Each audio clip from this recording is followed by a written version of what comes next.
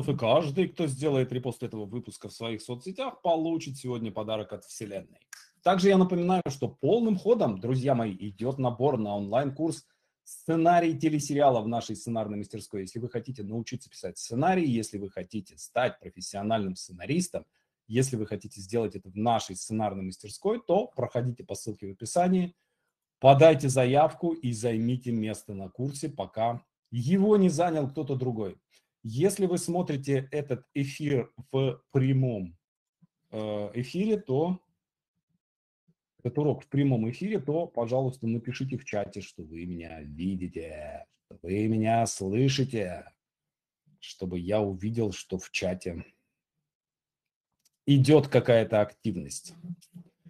Странно, я на странице вижу, что появляются какие-то комментарии, а вот внутри, внутри трансляции уже 12 комментариев. А внутри, а, сразу, сразу куча комментов появилась. Он чуть-чуть подтормаживает, видимо. Я, друзья, чуть-чуть приболел, э, поэтому если вдруг в прямом эфире я упаду в обморок, то вы не пугайтесь и просто вызывайте скорую.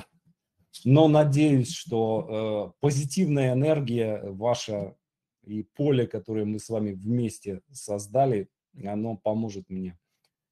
Излечит меня, исцелит потому что э, у нас на самом деле, у нас сегодня сложный, сложный день, и вообще вся неделя достаточно такая сложная. Э, у меня наложилось, я тяну немножко время, чтобы вы все подключились, да. Э, у нас, во-первых, э, сразу же после этого занятия в 2 часа здесь же пройдет первое занятие э, курса телесериал «Начало».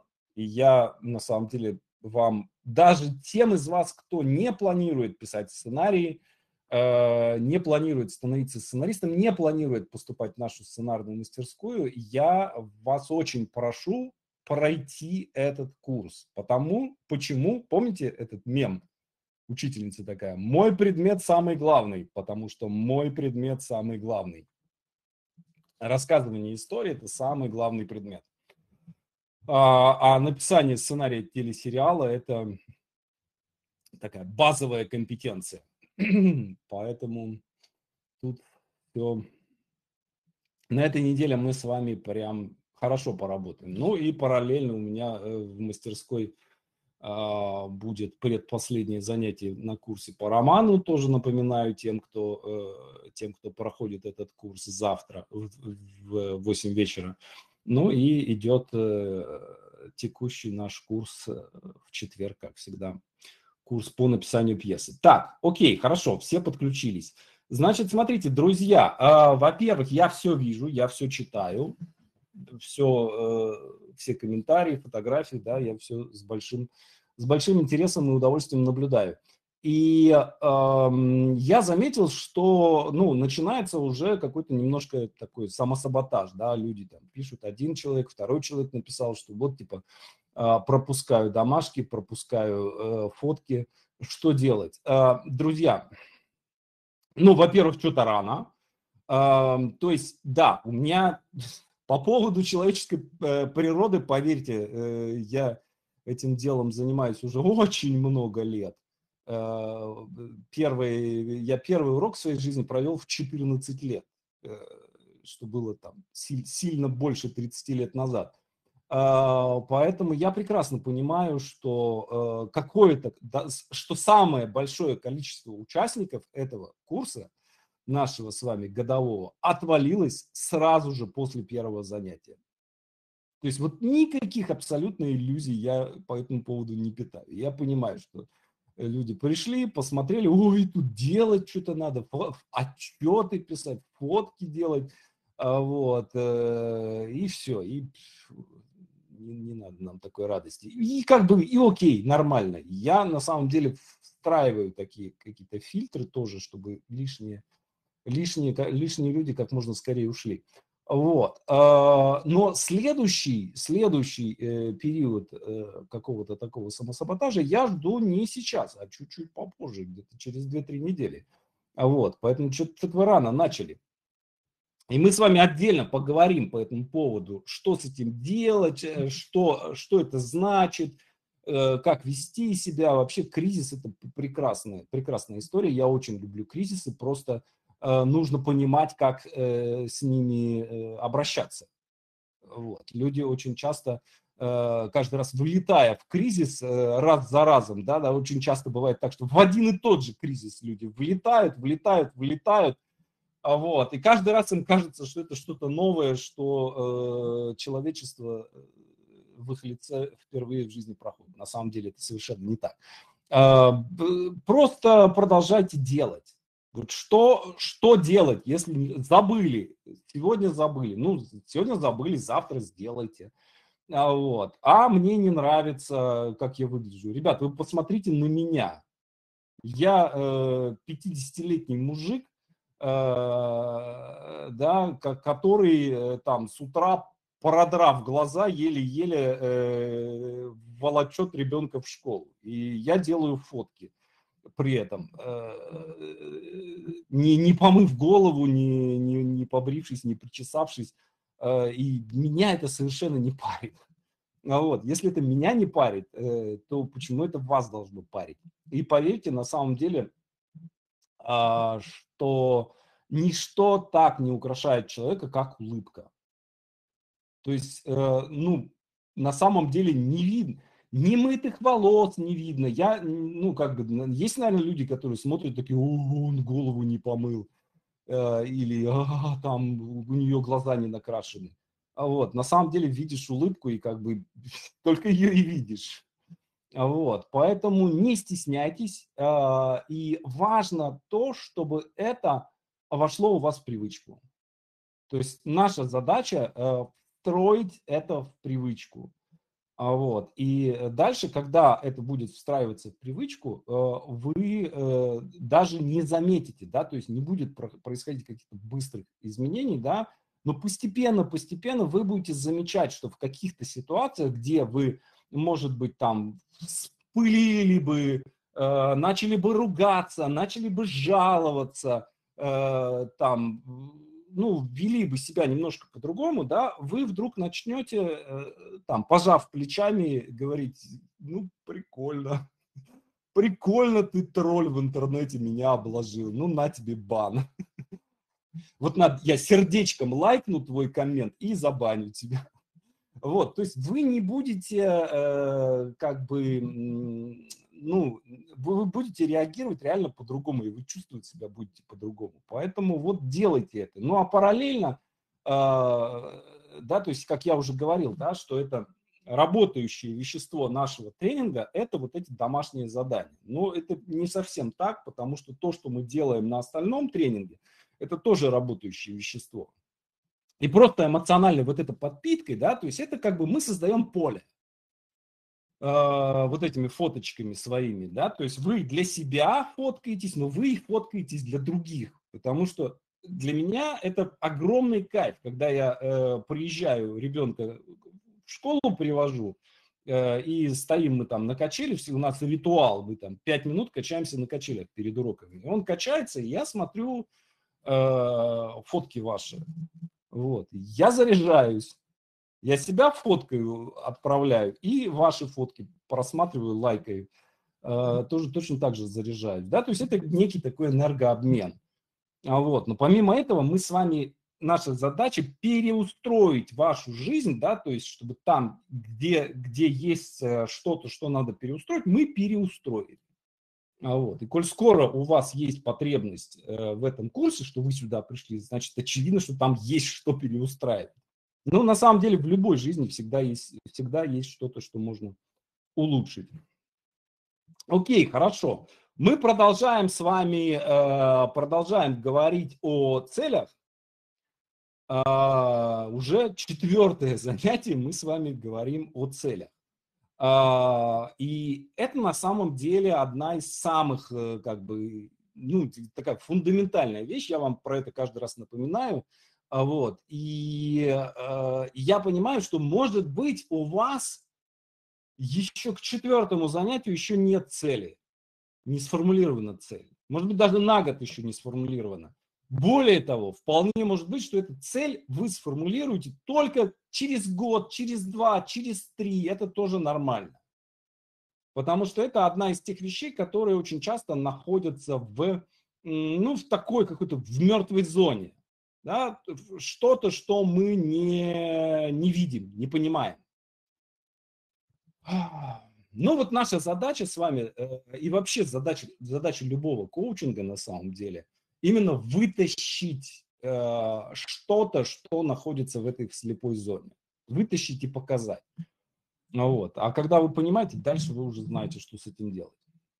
Ну и вот сегодняшняя тема, она тоже такая довольно сложная и не несущая какого-то непосредственного профита. То есть это не будет так, что вот мы сегодня что-то сделаем, и у вас сразу же, завтра же что-то изменится. Есть такие быстрые техники, о них мы там чуть позже поговорим на следующих занятиях. Но через э, эту тему нужно пройти для того, чтобы э, лучше понимать, что и почему происходит в вашей жизни и что с этим делать. Э, и мы будем говорить о э, такой в целом о стратегии жизни. А, мы сегодня начнем этот разговор о стратегии жизни, потом через некоторое время, когда у вас уложатся, уложатся обломки, а, значит, мы еще раз вернемся к ней и еще поговорим через несколько недель. А, но мы будем говорить о том, как нужно планировать свою жизнь и какие задачи нужно ставить и решать, и в каком возрасте. Люди очень часто проживают свою жизнь так, как будто у них есть еще несколько жизней в запасе. Это очень странно, но на самом деле я вам об этом говорил, да, что мы свою жизнь проживаем один раз. И у нас нет возможности прожить начерно и потом еще раз прожить э, заново. Да? И в итоге люди тратят годы на какие-то бесплодные усилия или на то, чтобы повторять то, что уже пройдено давно. Или то, что они могли бы посмотреть у других и сказать, ага, вот что надо было делать-то, оказывается, дай-ка я это сделаю и получу результат. И идти дальше спокойно. И в конце жизни люди вдруг оказываются банкротами и в финансовом, и в стратегическом смысле. Или вдруг э, такое тоже я видел, вдруг люди ударяются во все тяжкие, э, стараясь э, судорожно наверстать упущенное. И вот для того, чтобы э, выстроить какую-то работающую стратегию, нужно понимать, а как вообще меняется человек с возрастом. То есть что у человека с возрастом в жизни э, происходит.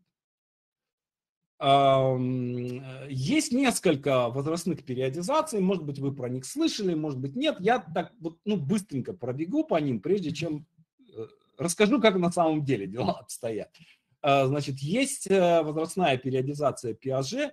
Насколько мне известно, это там типа либо первая, либо одна из первых периодизаций, которые так более или менее сознательно были сделаны. Конечно, есть еще там античные вот эти все аристотелевские э, все эти периодизации, но там уже совсем мы туда, в эту сторону не пойдем.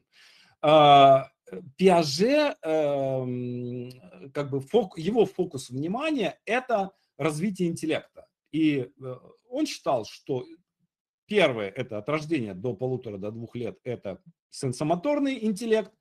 Дальше с двух до четырех лет развитие символического до понятийного мышления. А, с четырех до семи-восьми образование интуитивного наглядного мышления.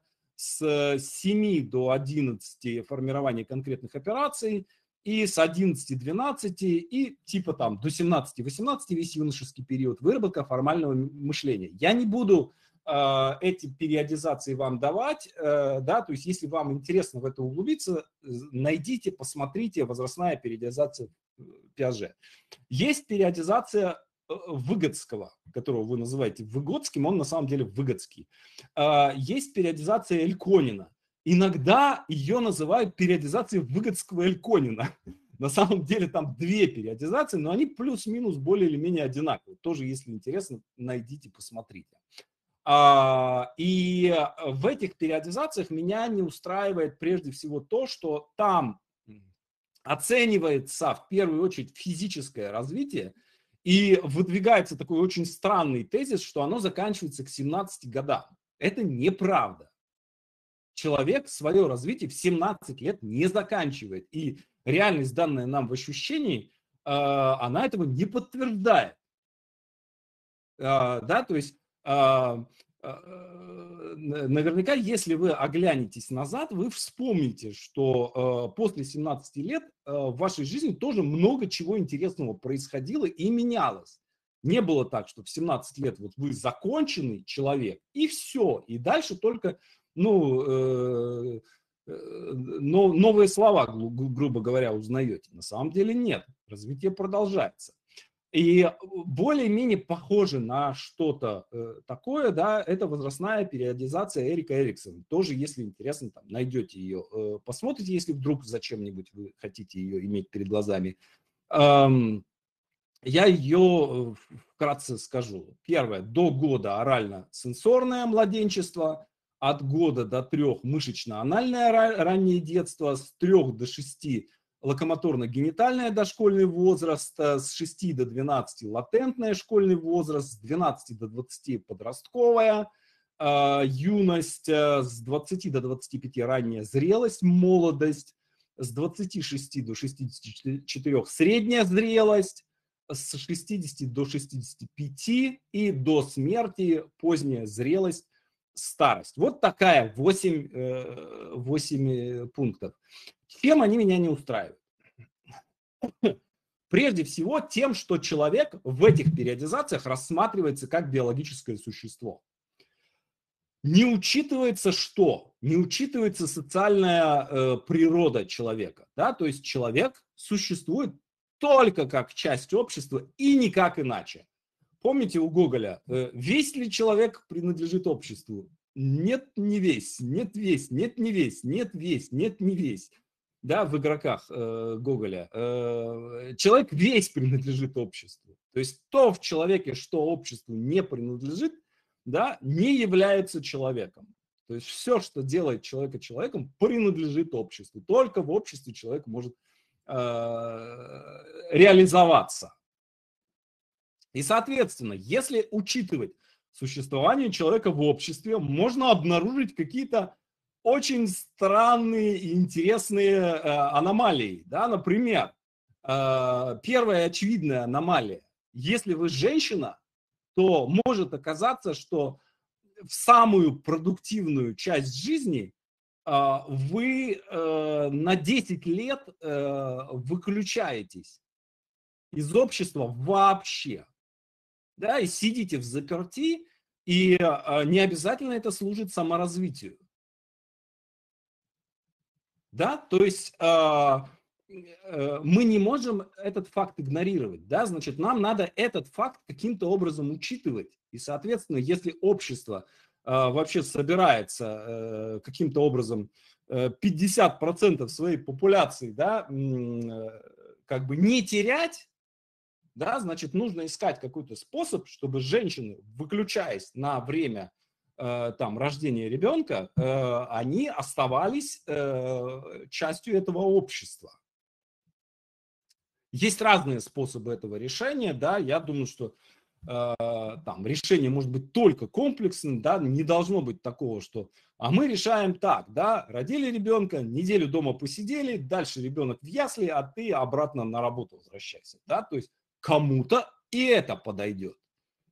Да, кому-то это не подойдет, кто-то скажет, я хочу сидеть до, до 10 лет, хочу сидеть с ним заниматься, и окей, это тоже должно быть вариантом, но при этом, опять же, человек должен иметь возможность там, не знаю, общаться с э, людьми, э, там, учиться, развиваться и так далее, и так далее. А, а люди, которые занимаются возрастной периодизацией, они, например, вот такой, э, такой вот факт, они вообще про, попросту игнорируют, как будто нет такого. Женщины не рожают, не сидят дома, да, это пипец как странно. Хорошо, идем дальше. А, помимо этого, а, да, конечно, люди более или менее в основном, я не скажу одинаковые, но похожи друг на друга.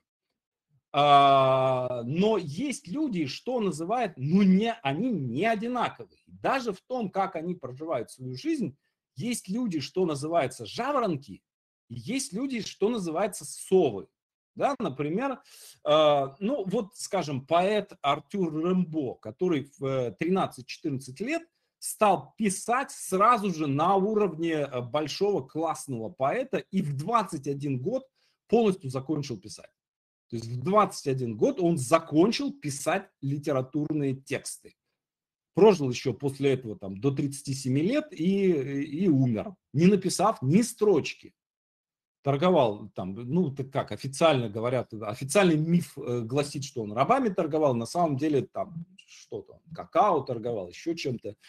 А, вот. Эм, а, Реймон Редиге тоже, тоже рано умер парень, э, да, там тоже первый роман «Бес в крови» написал, по-моему, в 16, что ли, лет. А, очень, э, как бы, вот сразу, человек вот только что родился, да, подросток еще, пишет готовый роман на, сразу же на, на очень высоком профессиональном уровне. А есть люди, которые только к 40, к 50 годам вообще хоть что-то начинают понимать. Да, я, ну, я говорю про писателей, потому что ну, мне это ближе, я как-то и, и биографии больше знаю, да, например, Хулио Картасар, который первый рассказ, первый, который он счел достойным публикации, рассказ «Захваченный дом», он написал, по-моему, то ли в 34, то ли в 36 лет. То есть это, ну, в общем-то, преклонный возраст достаточно для писателя. Очень многие в это время уже заканчивают. А, да, то есть есть люди, которые сразу же, вот только родился, уже готовый человек и может уже работать э, по специальности, что называется. А есть люди, которые долго-долго-долго созревают, созревают, созревают и вот созре... созрели в конце концов. А вот, кстати, интересно, друзья мои, а вот вы, как вы думаете, вы скорее жаворонок или скорее, э, скорее сова?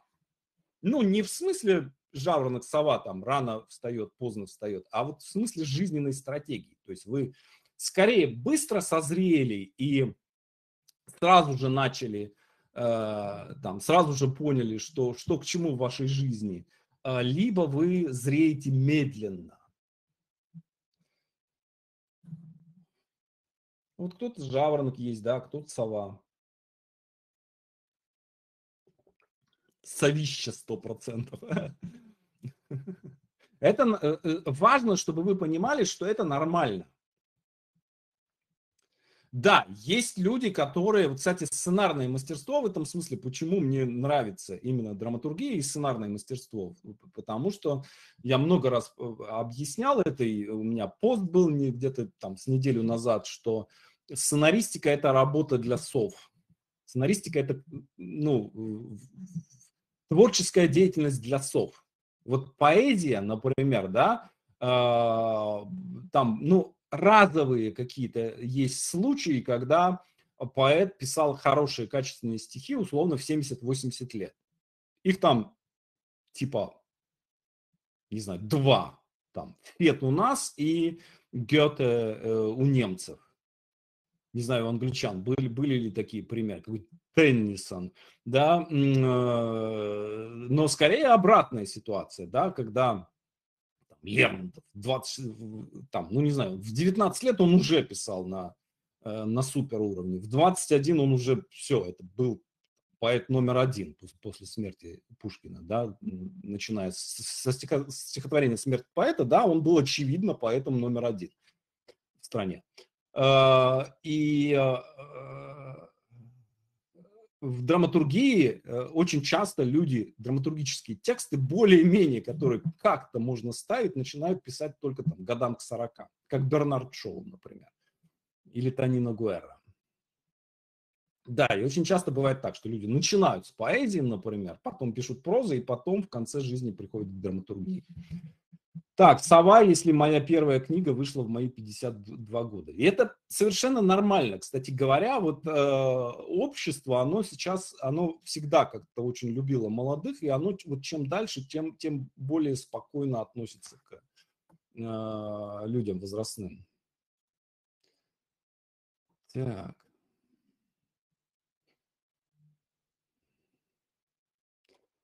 Так, хорошо, есть. Да, так вот, ни одна из этих периодизаций, которые я перечислил, она не учитывает целей человека. периоде, да, то есть что человек должен делать, да, что человек должен достигать в том или ином периоде. А если так, то не, непонятно, зачем вообще делать эти периодизации. Да? То есть если мы создаем стратегию, создаем стратегию жизни, да, как можно создавать стратегию жизни, не зная целей? Потому что, ну, основа любой стратегии – это цель. Чего вы хотите добиться, что вы хотите получить. И вот эта моя система, которую я вам сегодня расскажу, да, она, конечно, условно, она приблизительно, как и все системы.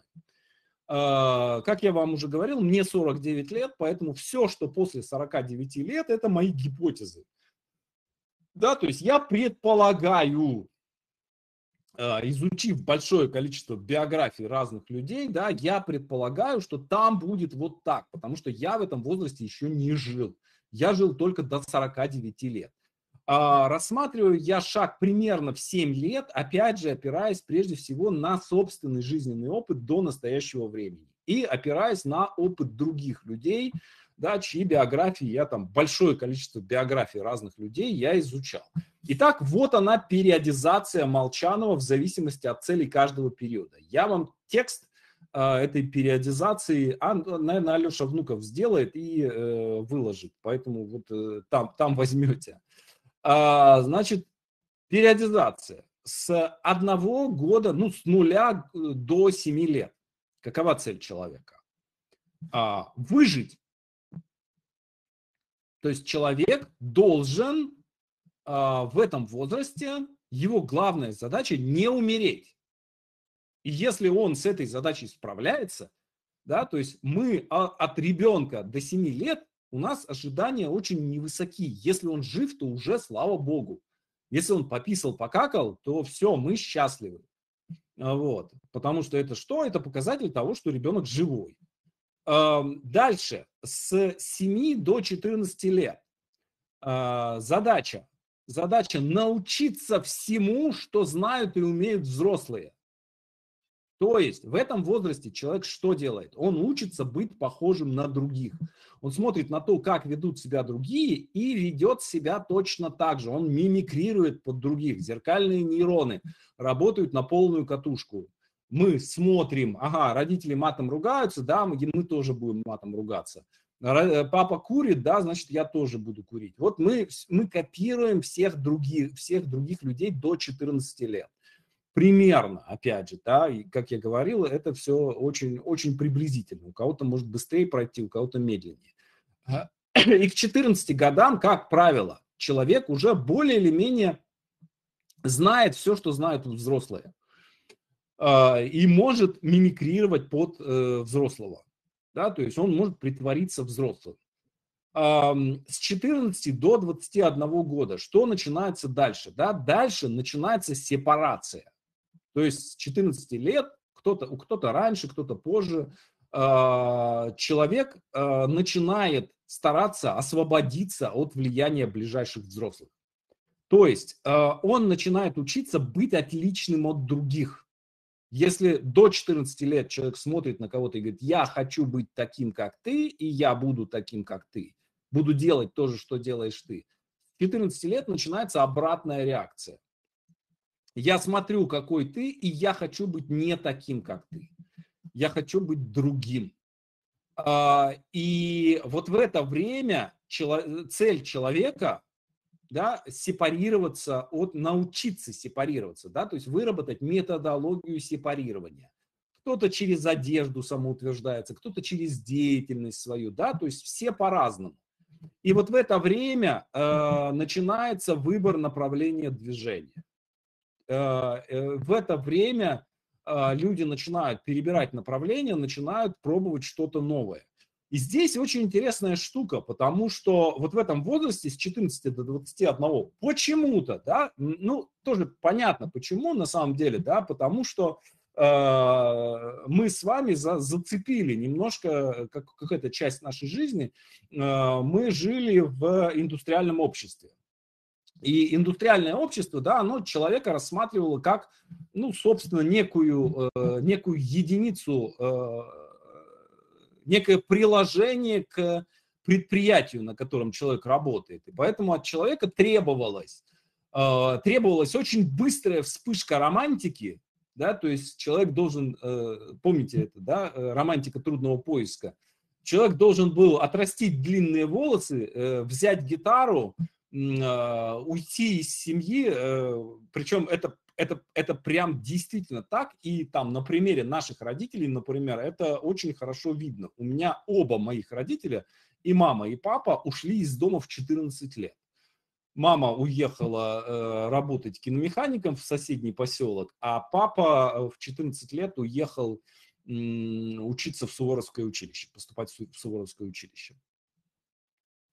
А, и, э, кстати, с нынешним э, тем самым, э, с нынешним командиром генштаба они вместе учились в этом Суворовском училище, с Герасимом.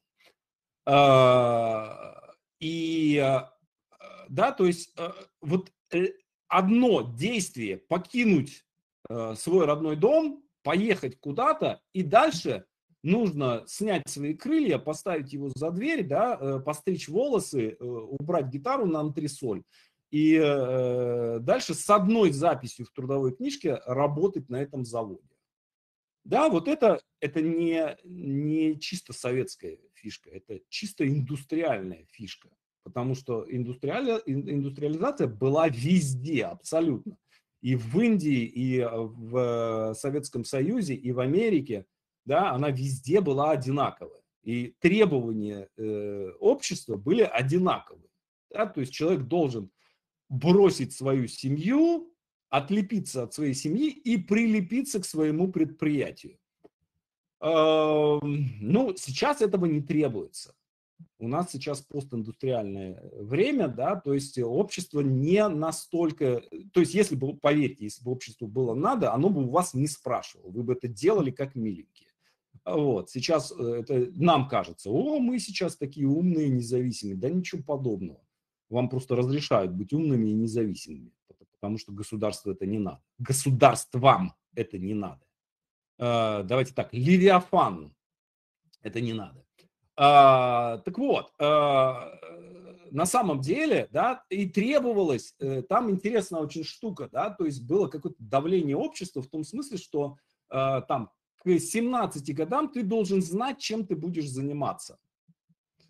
То есть в 17 лет от человека требовалось сделать главный выбор в его жизни, куда он пойдет учиться, в какой вуз. А по-хорошему он должен знать это еще раньше, чтобы начать готовиться. Да, бывают случаи, когда там человек достаточно рано это понимает, да, то есть я, например, там типа, ну, в, за два года до окончания школы я уже точно знал, что я э, буду учиться на филологическом факультете. И там уже просто, ну, какие-то варианты были. То есть я там, конечно, хотел учиться на классической филологии в ЛГУ, э, да, изучать греков и, э, и римлян, но пришлось мне учиться в Вологодском педуниверситете, что тоже, как оказалось, неплохо. Э, но тем не менее, да, вот это очень странно, что мы от человека в это время требуем э, выбора. Он не может, он просто не может в это время, в большинстве, да, есть люди, которые сразу про себя все знают. Э, а давайте так, мы проведем э, небольшой эксперимент. Напишите сейчас в комментах, знали ли вы в 17 лет, э, что является вашим призванием? Хотя бы направление, хотя бы направление. И учились ли вы, когда вы поступали в институт, поступали ли вы, э, выбор вуза или э, техникума, был ли он связан вот с этим вашим призванием, как вы его понимали? Так, Анна, да, Мария, нет, Ирина, нет, Елена, нет. Вообще нет, Елена, не. Знала, но меня переубедили, я поверила. Константин нет, Нурия нет, Надежда нет, Мара Лайк Тет, видимо, нет. Вот бывает, да, вот Светлана пишет, я 7 лет знала, что буду медиком, теперь уже стаж 34 года в медицине. Такое может быть, да, то есть я там 6 лет уже, 6 лет, когда написал первое стихотворение, я уже понимал, что я так или иначе Э, буду иметь какое-то отношение к литературе, да, то есть, что я буду писать. Кто-то до сих пор, вот Ирина пишет, до сих пор не знаю. Так, вот э, смотрите, что мы видим, да? Какое-то количество участников пишет, что нет, не знали. Какое-то уча- количество участников пишет, что да. Какое-то количество участников пишет, что я думал или думала, что вот так, а потом оказалось, что нет. Кто-то пишет, что я вообще не знаю. О чем это говорит? О том, что у всех по-разному. Да, что здесь нет такого, что вот должно быть вот так вот. И типа я буду делать вот так. А вот. А, а что делать? Как найти правильное направление движения? Да перебирая, перебором. То есть задача сделать так, чтобы вы э, смогли пробовать какие-то разные варианты и понимать, э, туда или не туда. И желательно так, чтобы пробовать эти варианты, э, чтобы это не, э, не разрушило вашу жизнь. Потому что меня, опять же, я там ретроспективно оглядываясь назад, я понимаю, что я свою жизнь мог уничтожить полностью э, несколько раз. Потому что мне так хотелось, так я торопился в жизнь вступить, так мне хотелось скорее вырваться из этой сямжи, да, э, что я после восьмого класса э, я поступал, хотел поступить в Архангельское электротехническое училище по одной единственной причине, что там учился Дмитрий Ревякин из группы «Калинов мост».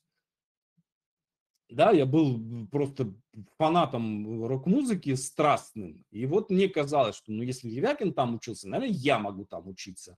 Вот. И э, я подал туда уже документы, забрал документы из школы и за неделю до экзаменов заболел желтухой.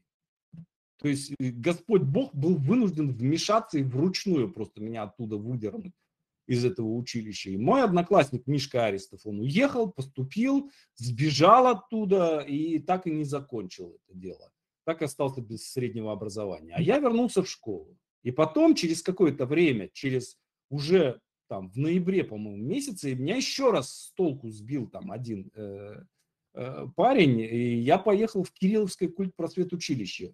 В середине учебного года э, меня тоже в голову стукнуло, Э, даже это был, по-моему, декабрь уже, начало декабря. Э, я поступил туда, да, забрал документы, поступил, уговорил, через неделю сбежал оттуда, понял, что нет. И слава тебе, Господи, директор наш э, меня вернул обратно в школу. То есть все учителя были против того, чтобы меня вернуть обратно в школу. Директор сказал, он будет учиться, закончит школу. За что ему, конечно, Загоскину нашему э, земной поклон. А, вот, и, а, да, желательно, конечно, и это был страшный риск. То есть, если бы не он, опять же, прямое вмешательство, что называется, руки судьбы, то, ну, не получил бы высшее образование, и ничего бы того, что у меня было бы дальше, ничего бы этого не было. Вот, поэтому а, перебирать направление и стараться безопасно это все сделать максимально безопасно. Дальше, с 21 по 21 год, э, с 21 по 28 лет. Цель – найти свою стаю, найти своих. Э, причем э, в некоторых случаях это не просто найти своих, да, а создание методологии нахождения своих. Да, то есть мы обучаемся коммуникации. А, и может статься так, что вот там, где вы будете, э, например, я там с 20 до 28, я жил в Вологде, и в 20, по-моему, 6 я уехал в Москву, да, и, соответственно, у меня задача была, сначала я в Сямже нашел своих, сформулировал, сформировал какой-то комьюнити, Потом в Вологде, опять же, нашел своих. Я начинал в Вологде вообще с окраины, с бандитов, э, с общения, какие-то абсолютные подонки общества. И закончил э, офисом, редакционным офисом в центре города, общаясь э, с актерами, режиссерами, э, журналистами, радиоведущими и так далее, и так далее. Да? То есть элитой города за там, несколько лет, за, за 10 лет. Э, да, то есть э, это обучение коммуникации. И учиться настаивать на своем, учиться быть старшим в чем-то, учиться быть главным. А самое главное, научиться сознательно выбирать учителя, а не брать то, что дают. Да, то есть э, и научиться у учителя, э, опять же, брать то, что надо, а не все, что он дает. Да, то есть э, научиться критически относиться ко всему, э, чему человека кто бы то ни было учит. Ну и сделать первые шаги в выбранном направлении. Да? То есть э, перебором выбирается направление, и какие-то первые шаги в этом направлении должны быть сделаны. Ну, в моем случае я написал роман, издал, начал рассказы писать, публиковать там, и так далее, и так далее.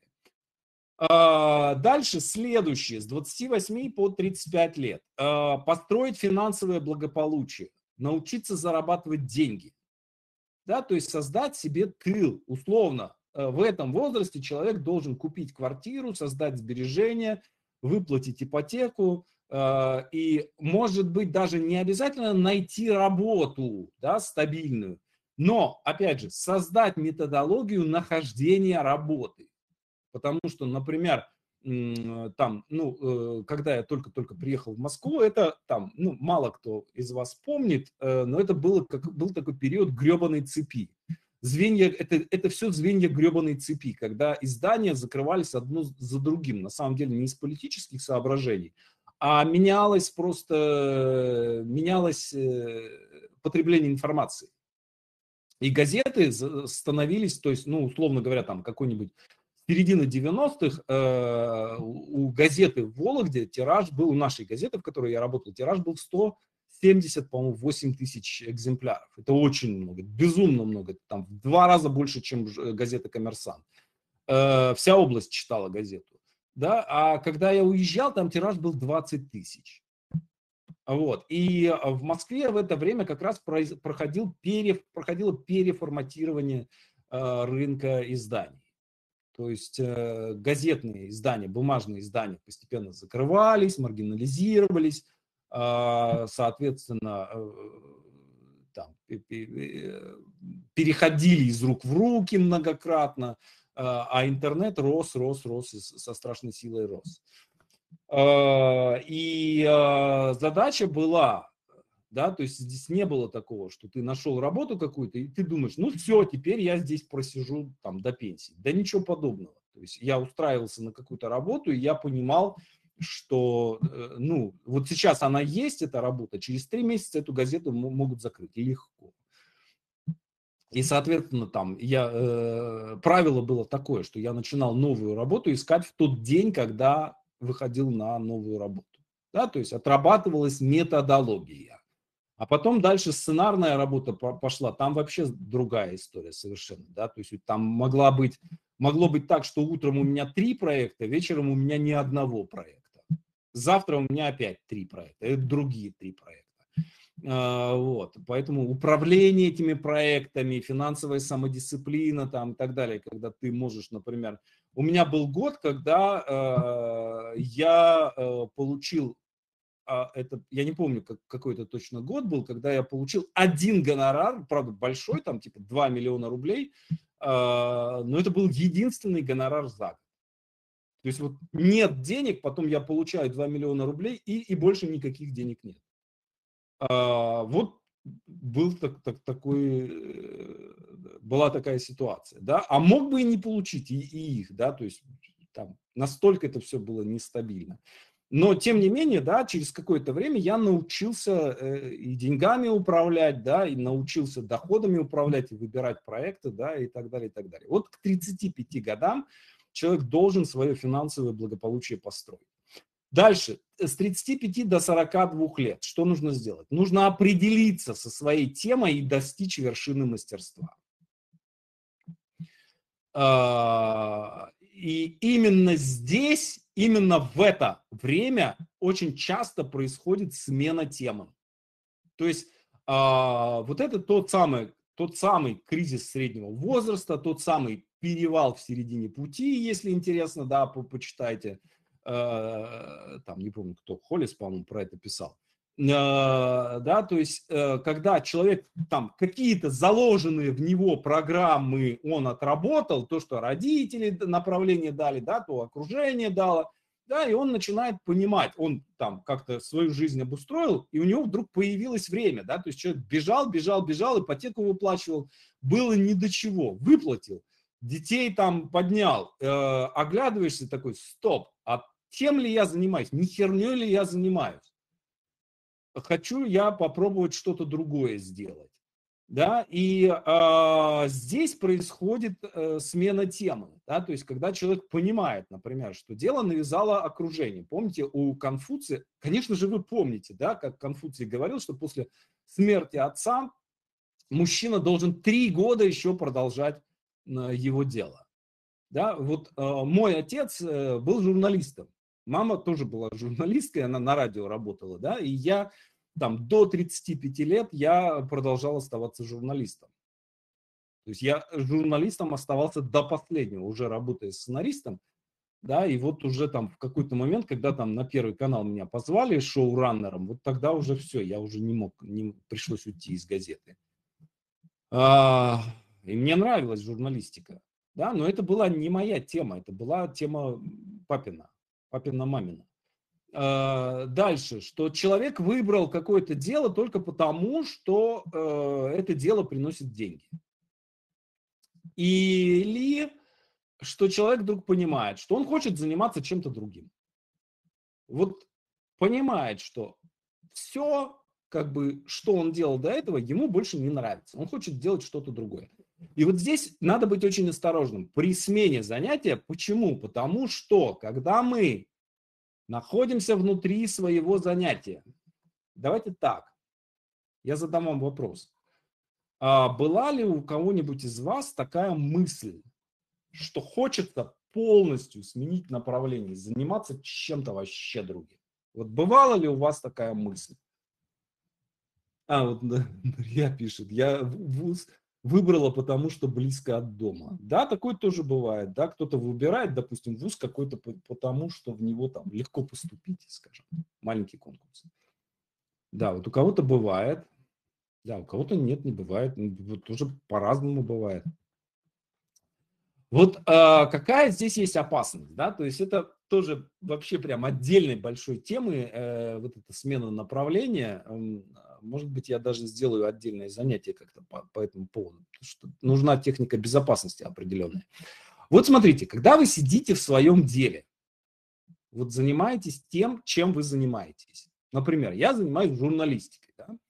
и я знаю, что э, журналистика, и, и я, поверьте, был ну, не, самым, не самым херовым редактором в, в этой стране. В 30 лет я стал главным редактором журнала «Новый крокодил». Да? А, потом был шеф-редактором газеты «Метро». Потом был шеф-редактором газеты «Взгляд».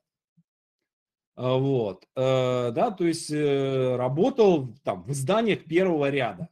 А вот, что для человека из деревни, не обладающего никакими абсолютно связями, да, то есть вот я приехал в Москву в 2001 году, да, в осенью. Э, в 2005 я был главным редактором журнала «Новый крокодил». Да, без всяких знакомств, без всяких связей. А, и а, в редакции все знают. Да? То есть вот я могу, когда у меня было собеседование э, с Олей Желановой в газете «Метро» на должность шеф-редактора, а, мы с ней разговариваем, ну, я спрашиваю, а что у вас тут то, а что все, какой график, какой все. Она сидит, сидит, слушает, слушает, потом такой, слушай, говорит, ты задаешь очень правильные вопросы. Я говорю, Оля, я газетная, ну, я действительно, я вырос в газете, то есть я в редакции там с пяти лет. А, вот, и э, ты можешь мне завидать глаза, и я говорю, выйду и скажу, вот тут у тебя кулер, вот тут у тебя корректура, вот тут у тебя верстка. И сразу скажу, что у тебя, где там, какие проблемы, почему вы ночами сидите э, где у вас уз, узкое место. И это действительно, кстати, так. Они сидели ночами, и э, через неделю после того, как я стал шеф-редактором, они перестали сидеть ночами. Э, вот, э, да, то есть я знал это дело очень хорошо, но при этом я четко знал, что там есть вот такая проблема, есть такая проблема, есть всякая проблема, есть вот такая проблема, да, то есть там очень много было вещей, которые мне лично не нравились. Но в числе прочего, там очень небольшие деньги. То есть даже там шеф-редактор зарабатывает там какие-то не э, совсем небольшие деньги. То есть когда я стал сценаристом, у меня там вертикально доход вырос, намного больше. Вот, а мне нужны были деньги, чтобы квартиру покупать там и так далее. Да? И вот ты смотришь, и э, когда ты сидишь в своем деле, ты видишь, постепенно у тебя накапливается негатив, и ты начинаешь видеть только негатив. И ты смотришь на другое дело. А в другом деле ты видишь только позитив. То есть ты негатива не видишь. И тебе кажется, что вот я сейчас, не знаю, там, э, журналист, и мне очень хреново, я несчастен. А вот он, не знаю, там, таролог, и это так классно. Вот я хочу быть тарологом. Да, то есть, и, а вы не, мы недостатков этого, э, этого занятия не знаем, а их дофига и больше. И человек начинает осваивать новые занятия, да, то есть э, происходит такую перезагрузку, да, э, и в итоге становится несчастным, да, тратит еще кучу времени, денег и сил на это, да, и э, потом очень часто, кстати, с инфобизнесом такое бывает, то есть люди такие, о, коучи, как, классно быть коучем, я хочу быть коучем, я хочу быть психологом, да, и человек идет туда, обжигается, и через э, год такой, типа, ой, ужас, я все, я выгорел полностью, дайте-ка я снова на работу устроюсь.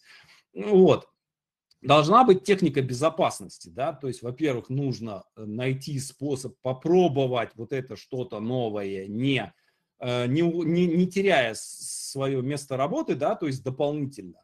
Во-вторых, э, выбирая тему, желательно брать тему, которая смежная с вами, да, то есть не полностью менять, а что-то, чтобы рядом было. То есть, ну, например, сценаристика, она ну, довольно близка журналистике. И, в общем-то, там какие-то проекты первые, которые я делал, э, они были ну, абсолютно смежные с тем, что я делал на работе. Да? То есть я работал сценаристом, э, работал редактором в «Крокодиле» и писал э, для Угольникова, для Фитиля, писал короткометражки, осваивал потихоньку сценарное мастерство. То есть занимался, по сути, той же самой работой, но осваивал что-то новое. Да? и не, э, не рисковал, да, то есть не так, что сразу же ушел и все, я ухожу и буду только этим заниматься.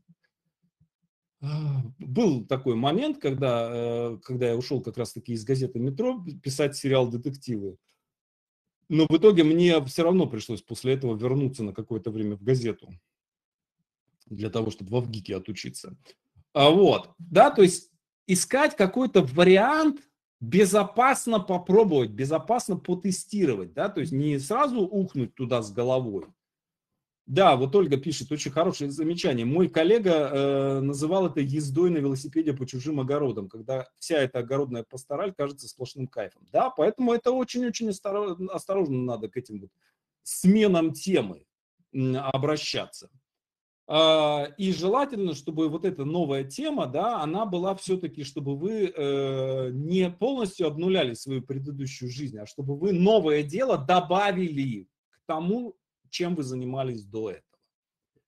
Дальше. 42, э, возраст с 42 до 49 лет. Служить людям. То есть я считаю, что общество в вас вкладывается – общество вас учит, общество вас лечит, общество вам дает все, да, делает вас человеком, и дальше ваша задача служить людям. С 42 до 49 лет. Это расцвет. Дальше. С 49 лет до 56. Э, передавать свой опыт. Да, то есть дальше начинать учиться передавать, э, делиться тем, что вы узнали. Да? То есть э, кульминация, как правило, вот она здесь, с 42 до 49. А, возможно, кстати, вот мне сейчас 49 лет, я тоже там какие-то переосмысления свои э, делаю, да, и корректирую какие-то планы дальнейшие. Вот, возможно, я дальше буду не просто учить писать, да, а буду учить учить. То есть выходить на... Буду учить учить писать. То есть учить людей, которые будут учить других людей писать. Да, то есть расширять и влияние свое расширять таким образом, ну и э, там свои, свои какие-то жизненные цели, э, там, поставленные мной, большие жизненные цели осуществлять. Э, это с 49 до 56. Дальше с 56 до 64 задача человека научиться быть счастливым. То есть э, в это время нужно научиться гармонизировать всю свою деятельность. То есть до, это не значит, что нельзя быть счастливым до этого возраста. Я думаю, что можно. И если у человека есть цель, и он к этой цели идет, он будет счастлив и в 20 лет, и в 30 лет, и в 40 лет. Более того, вот это само э, оценку «я был счастлив», э, ее мы можем только ретроспективно поставить. То есть, ну, если, опять же, там, я вспоминаю свое состояние в моменте, да, э, я понимаю, что, например, там, живя в Сям же последние два года, у меня был календарик, в котором я отмечал, сколько дней осталось до того, как я уеду да, то есть я был несчастен абсолютно, и в то же время я был абсолютно счастлив. То есть я всю жизнь возвращаюсь снова и снова туда в это время и понимаю, что вот там-то и, и, и было счастье, потому что я четко знал свои цели, я шел к своим целям, да, и это была очень эмоционально наполненная жизнь. Или 90-е годы, годы э, там лютой борьбы за выживание, это было для меня, опять же, очень такое остро счастливое время. А, вот. А, а дальше, да, стимулов для счастья их становится все меньше. То есть вроде как уже и за девушками не побегаешь, да, и уже и алкоголь, э, похмелье, э, да, то есть какие-то радости, которые, э, то, что раньше приносило радость, оно приносит радости все меньше и меньше. И надо научиться быть счастливым, что называется, как бы счастливым самому по себе без э, э, каких-то сопутствующих, э, сопутствующих людей, вещей, дел и так далее, и так далее. Да? То есть вот я, думаю, да, вот то, что дальше, я, дальше мои гипотезы начинаются. Да, я предполагаю, что с 56 до 64 цель человека – это научиться быть счастливым. Дальше. С 64 до 70 цель человека освободиться от всех обязательств по отношению к людям. То есть, ну, это не значит, что кинуть всех, да, а выполнить все обязательства по отношению ко всем людям. То есть к этому времени все долги нужно закрыть. Дальше, с 70 до 77 освободиться от обязательств по отношению к себе. Да, то есть все, что вы себе обещали сделать в своей жизни, да, вот к этому возрасту нужно э, выполнить. Потому что дальше у вас уже времени на это не будет.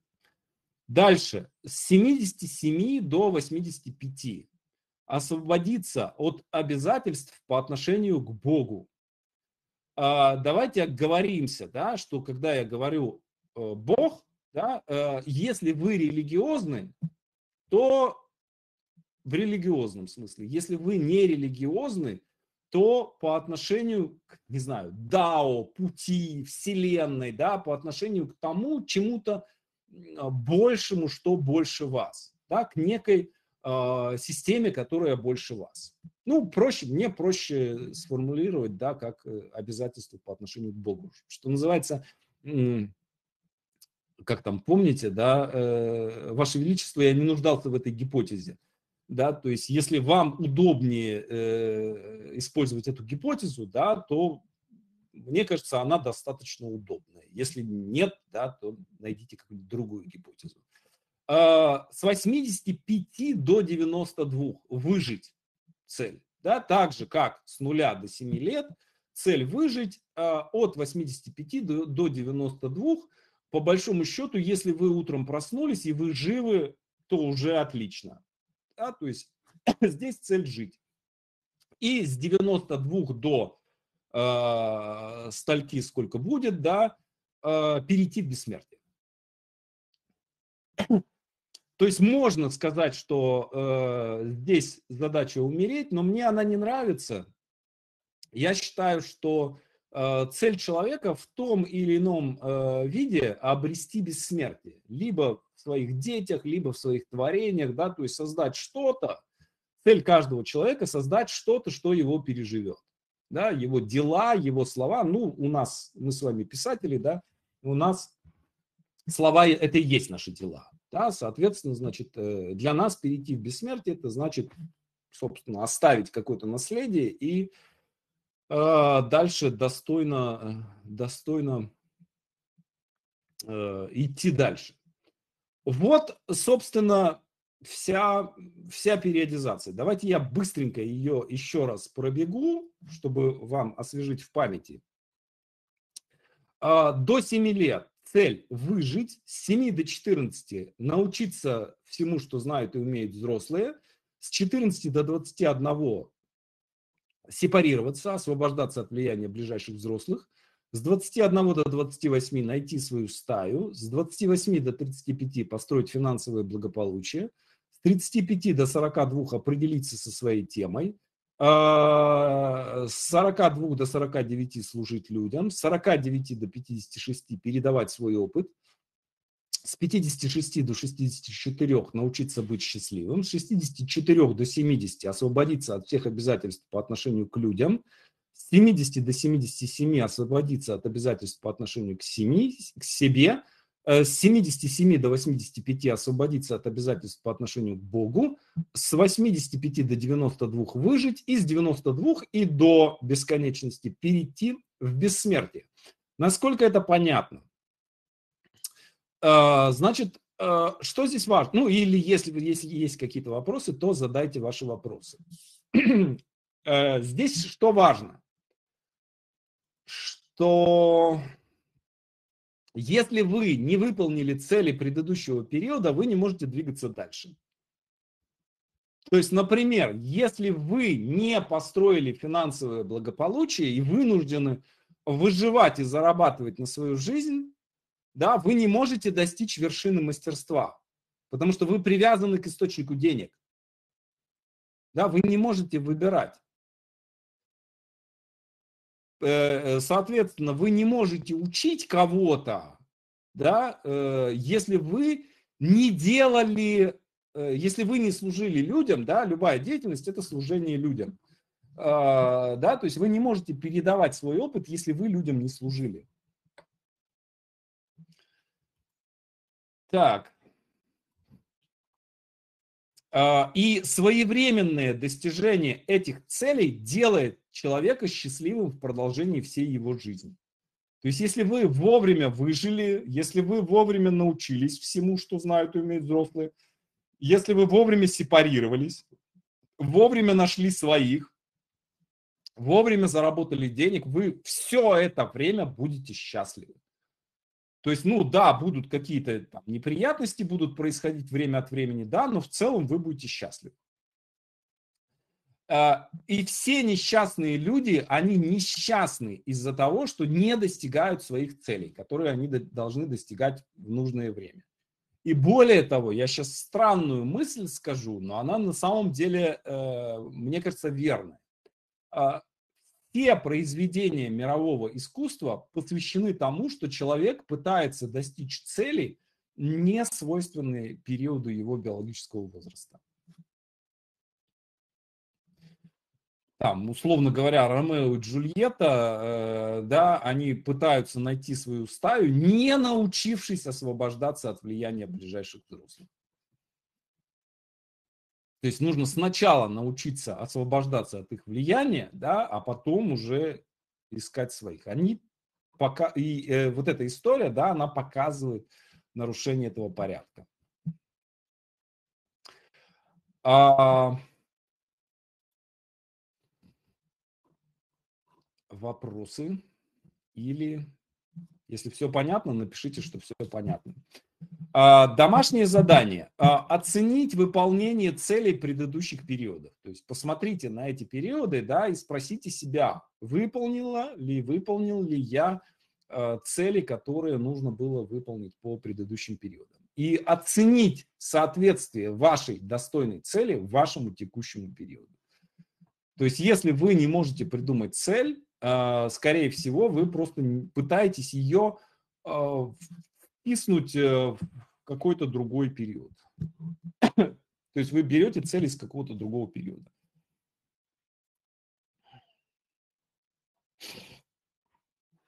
Что-то у меня чат завис. Сейчас я попробую там посмотреть.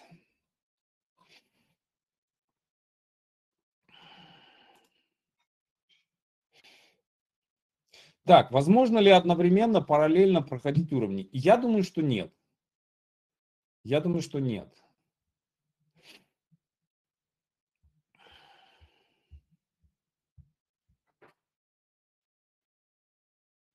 Непонятен пункт про освободиться от обязательств по отношению к Богу. Каким образом? Я не знаю. Что, если не идешь в этом ритме, ибо вернулся в начало и с нуля строишь все э, в 30 плюс? Ну, значит, что вы не, а, не сделали что-то из предыдущих уровней, да, условно говоря, вам 40 лет, а вы еще не умеете деньги зарабатывать. Значит, пока вы не научитесь деньги зарабатывать, у вас э, как бы ничего не будет. Вы так и будете там сидеть на где-то там на, на этом самом. Вот, то есть, если вы все делаете правильно по порядку, да, и э, научились учиться, и научились сепарироваться, и научились своих находить, и научились тему выбирать, и научились э, деньгами управлять, ну, грубо говоря, деньгами управлять, ресурсами, давайте так, ресурсами управлять научились, да, все, у вас как бы все нормально. То есть, скорее всего, чаще всего какая проблема возникает? Да, то есть человек сидит в 50 лет, денег нет, э, занимается нелюбимым делом, и как бы, и что делать? Да, и семья еще разрушена, как правило. Что делать? Ну, вы пропустили предыдущие пункты не научились своих э, искать. Да, что делать, если период не пройден? Проходить его. То есть вы знаете теперь, да, вот смотрите, оцените, э, проходили вы э, это самое, проходили ли вы. Так, передавать свой опыт не равно служение людям. Э, это близко, близко, но мне кажется, что это не обязательно так. Не обязательно так. Да, то есть может, э, я думаю, что может, то есть может быть обучение э, людей, да, может быть служением людям, да, то есть вот я э, служил людям, причем у меня это четко было очень отрефлексировано. Я в какой-то момент понял просто, что да, я могу написать еще 10 сериалов Э, для канала Россия, да, или для Первого канала, да, но я больше пользы э, обществу принесу, если я выучу 50 сценаристов, которые напишут 50 э, сериалов. Закладывать те смыслы, которым, те этические ориентиры, которые я закладываю своим ученикам. Почти никто не говорит про эти возрастные группы. Никто не говорит про эти возрастные группы. То есть этой э, периодизации нет. Да, то есть я ее автор. Александр Молчанов разработал. Так что, если хотите, можете ее использовать со ссылкой на меня. Авторская методология. Так. Сейчас, может, ожило? Да, чат ожил. А... Так. Рождение троих детей тормозит. Это то, Мария, то, о чем я сказал в самом начале, что действительно, это действительно есть такая проблема. Но в случае женщин есть некоторая компенсация. Э, женщины, они вообще, они, во-первых, в целом умнее мужчин. Э, это, это просто это биологически доказано. Что мужики, э, они тупее, тупее, глупее, медленнее соображают, чем женщины. Вот. И второе, я мужчиной. Я, поскольку я сам в каком-то смысле мужчина, да, я э, думаю, что я имею право так говорить, и э, никто не будет на меня обижаться. А, вот. А, во-вторых, э, женщины, э, у них есть фора. Мне кажется, что женщины немножко быстрее это все проходят. То есть вполне может быть тоже, здесь надо смотреть, да, вполне может быть, что они могут быстрее, какие-то периоды могут быстрее пройти. И у них освобождаются вот это, эти, там, условно говоря, какие-то там, ну давайте говорить, там 7 лет на то, чтобы вырастить детей. Ольга пишет, смотрю за родителями 85-90 плюс и понимаю, что да, все верно, ваши периоды. Но я говорю, что это гипотеза. Да, то есть, э, когда я проживу, э, доживу, если до, до 92 лет, у меня план до 96 дожить, если доживу, то могу сказать, да, так оно и было. И, ну или скажу, ребята, оказалось, что все совсем не так. Такое тоже может быть. Так, Ольга пишет, пропустила период создания финансового фундамента, путешествовала, училась быть счастливой. И по факту мне 42, сейчас работаю по со созданию фундамента. С любимыми делами все ок. Так, но ведь можно ускоренно наверстать непройденный этап. Да, совершенно верно. Я вам для этого это все и рассказываю, да, э, для того, чтобы вы увидели, ага, а где-то у меня вот тут недоработано, значит, мне нужно этот этап э, пройти ускоренно. И это может быть выбор своей темы. Вполне может быть. Я считаю, что вполне можно, да, могут быть такие ситуации, когда человек осознанно там в 60 лет говорит, так, блин, вот я дебил, мне надо было картины писать. Да, но это должно быть так, что вы всю жизнь где-то там хотели что-то там пытались писать, рисовать, да, и у вас классно получалось, но вы не, то есть это не может быть так, что вдруг вы в 60 лет впервые берете кисть и начинаете писать да, и не надо про бабушку Мозис мне рассказывать, да, э, потому что э, я уверен в том, что она на самом деле и до этого времени что-нибудь дорисовала. Вот. Ну или недоработанный. Там, общение с людьми недоработано, да, то есть если, например, вы, у вас, вам там с мужиками не везет или с женщинами не везет, ну, значит, не, недоработана вот эта методология э, нахождения своих людей. Значит, надо ее идти в терапию, разбираться с этим, да, искать хорошего психолога и, э, соответственно, э, решать эту проблему. Да? Нет людей, у которых это сразу идеально. Именно поэтому у людей там первый брак, второй. У меня вот второй брак оказался счастливым. Фу -фу -фу да, то есть тоже была неудачная попытка, во время которой проходило некое обучение этому всему. Служить людям а, может быть, а, может быть, служить людям без обучения людям. Не знаю. Еще раз говорю, ребят, вот то, что я рассказываю, это гипотеза. Мне кажется, что так или иначе все равно человек начинает обучать других людей, даже если он думает, что он этого не делает. Да, то есть даже если человеку кажется, да, Пол Маккартни, условно говоря, да, он всю жизнь песни пел, но тем не менее была же, э, у него э, был период, когда он занимался продюсированием, помните это, вот я все время забываю, девушку, которая спела роман с э, «Дорогой длинной», да, вот у него был период э, продюсирования, который он э, там запускал, он несколько звезд запустил. Да, мы его знаем как э, музыканта, да, но он в определенный период времени начал обучать других людей. Политики тоже, кажется, что они занимаются политикой, а, а на самом деле они занимаются обучением. Поэтому... А, ой, очень хороший вопрос у Марии. Рождение детей тоже служение? Может быть служением. Да, рождение детей. Я считаю, что рождение детей может быть служением. Вполне может быть. Получается, что раз опоздала, то дальше можно не мучиться в смысле творчества. А, тоже очень хороший вопрос. А, я считаю так, что творчеством можно заниматься в любом возрасте. Другое дело, что вполне можно заниматься творчеством как функцией организма.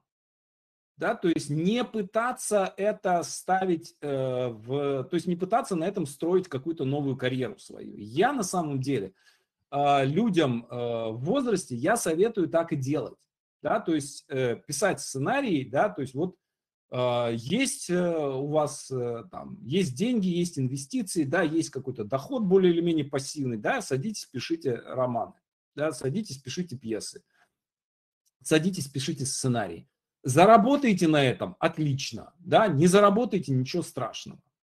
Да, то есть э, вот э, я советую в таком случае задать себе вопрос, а стали бы вы писать, если бы вы знали, что вы никогда не заработаете на этом деньги?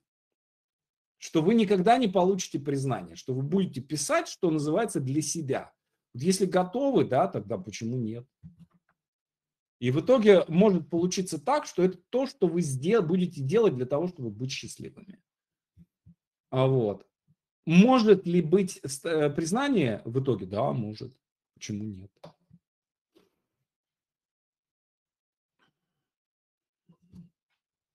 Драматургия в этом смысле идеальная деятельность. Написание сценариев – идеальная деятельность. Потому что не бывает 80-летних поэтов, не бывает 80-летних прозаиков. А, бывают 80-летние сценаристы. И отлично, отлично работают. В 80, в 90 лет. Габрилович в 90 лет писал. А если наоборот, с 23 лет учила других людей, теперь надоело учить. Хочется высказываться письменно, невзирая на лица. Но вы все равно будете учить. Просто когда вы будете писать, вы будете учить своих э, людей, для которых вы будете писать. Ну, реально понимаешь, что жизнь зря, зря прошла. Такое тоже бывает. Очень многие люди проживают свою жизнь зря. Именно потому, что проживают ее вслепую. Такое бывает. 90% людей проживают свою жизнь зря. Вот. Ну, это не значит, что э, надо э, жить зря дальше. Да, раз вы пришли сюда, значит, зачем-то зачем вас Вселенная сюда привела, или Господь привел, если, если вы верующий, если вы религиозный. Да, значит, лучшее время э, для того, чтобы начать жить не зря, лучшее время это сейчас. Прямо сейчас. Перестать жить зря и начать жить не зря. Да, вот, кстати, э, я так искусством э, занималась не ради денег, а потом продавалась. Да, кстати, так тоже бывает.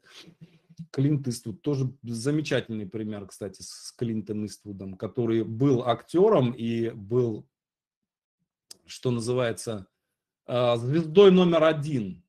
То есть какое-то время я читал, не помню, какую-то нон-фикшн какую-то книгу э, про, про голливудских боссов, и они говорили, что вот сидели за столом, типа, а кто звезда номер один? Все сказали, Клинт Иствуд. А потом начал снимать кино как режиссер.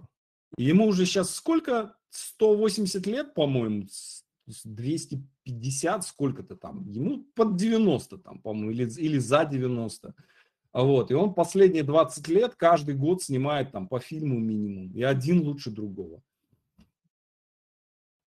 Замечательно. Причем я думаю, что он, когда он снимает эти фильмы, да, он не ставит задачи заработать деньги.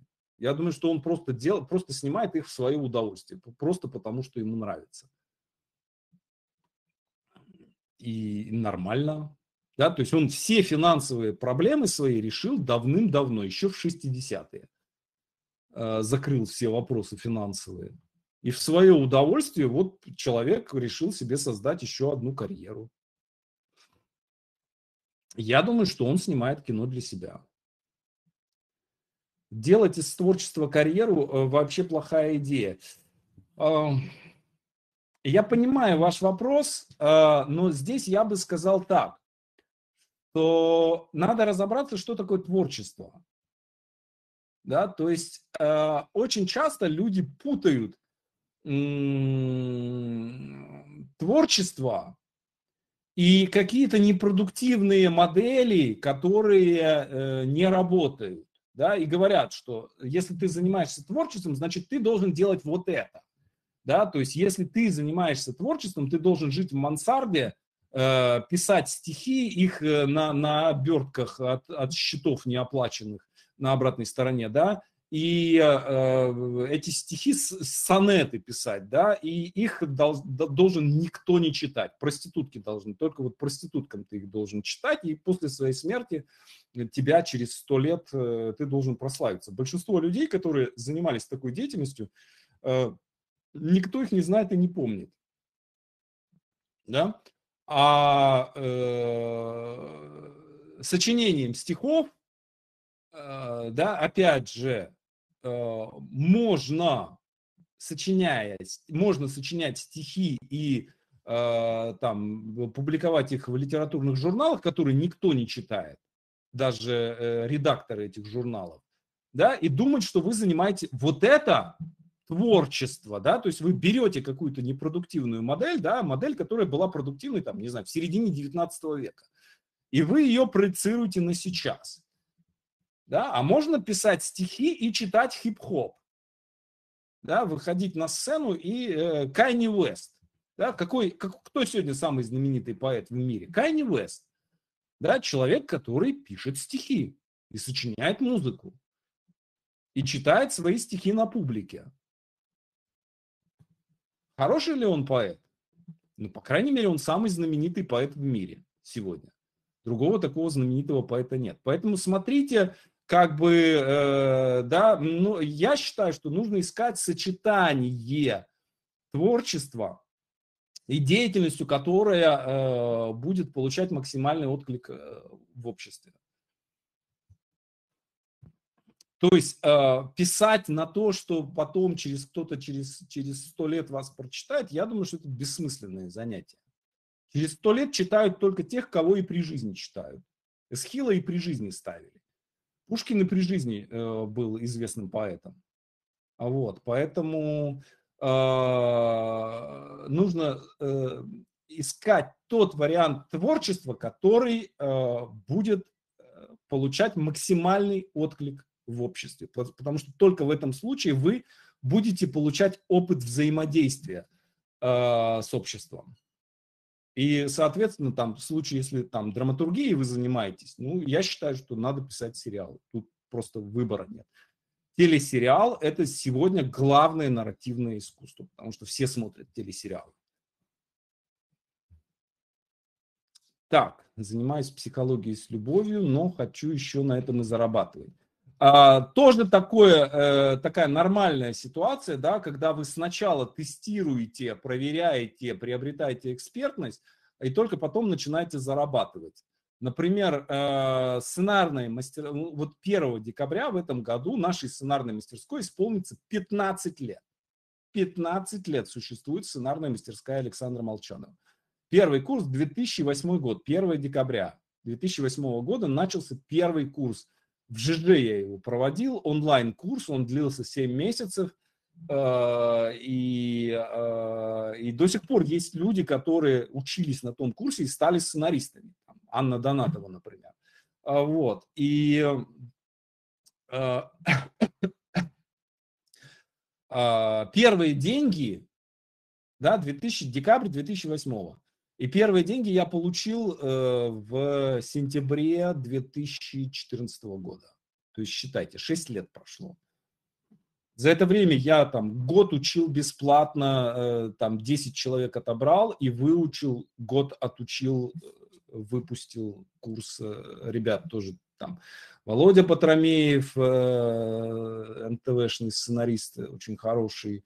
Алжаз Жанайдаров, может быть, слышали, э, драматург э, очень известный, да, то есть оттуда там куча, вот все ребята, которые первая наша мастерская, там 10 человек было, все, э, все стали известными. Да, будет юбилей. Подождем, поздравит. Может, министр культуры хотя бы поздравит нашу мастерскую, хотя вряд ли. Я стараюсь между струйками пробегать, чтобы не, э, как бы не встраиваться ни в какие официальные отношения в официальные структуры. Хорошо, друзья мои, большое вам спасибо за вопросы, большое вам спасибо за вашу, э, за вашу работу. Вы, мне кажется, прям большие молодцы. Я с, с радостью, каждую неделю с радостью к вам прихожу. Рад, э, рад видеть ваши вопросы, рад видеть ваши комментарии, рад видеть ваши улыбки. И домашнее задание понятно, надеюсь, да, оценить свою, э, свою жизнь с точки зрения э, вот этой периодизации, посмотреть на цели на свои. И увидимся на следующей неделе. Да, и э, через э, 13.25, через 35 минут мы здесь же встретимся на э, онлайн-курсе телесериал «Начало», это такой вступительный подготовительный курс перед э, курсом в нашей сценарной мастерской. Это курс бесплатный, да, а дальше ну, какое-то количество участников. У нас уже идет набор на онлайн-курс сценарий телесериала, поэтому если кто-то э, хочет учиться в нашей мастерской сценарной, давайте бегом-бегом скорее, скорее присоединяйтесь и будем писать сценарий. Очень люблю этот курс сериальный, он такой производственный, практический и производственный. Вот, так что давайте. Если кто-то хочет заниматься творчеством и э, получать за это деньги, э, вот единственный способ заниматься писательством и получать за это действительно, действительно настоящие деньги, не такие деньги, которые обычно писатели получают, а вот настоящие деньги. Вот это сценаристикой надо заниматься. А, хорошо, да, ссылки у вас все перед глазами. Э, и следующий урок у нас э, в следующий понедельник. Не забывайте выставлять э, фоточки свои с улыбками и не забывайте каждый вечер писать отчеты, что вас радовало. Пока-пока.